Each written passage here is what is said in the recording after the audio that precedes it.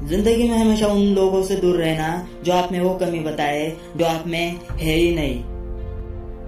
अपने लक्ष्य को ऊँचा रखो और तब तक मत रुको जब तक आप इसे हासिल नहीं कर लेते हैं।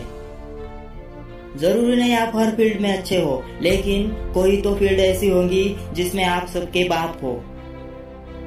जिनमें अकेले चलने का हौसला होता है, उनके पीछे एक दिन काफिला होता है।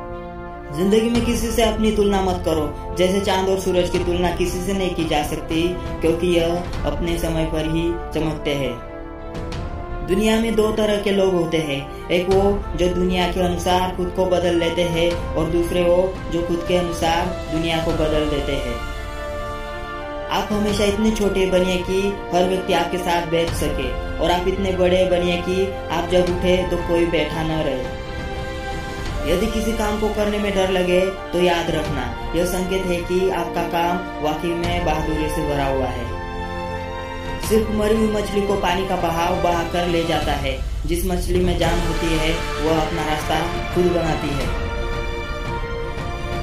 मैदान में हारा हुआ इंसान फिर से जीत सकता है, लेकिन मन से हारा हुआ इंसान कभी नहीं जीत सकता।